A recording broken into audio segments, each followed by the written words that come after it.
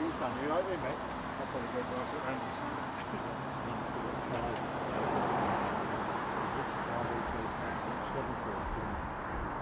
Two two eight, two two nine. Yeah, that's it.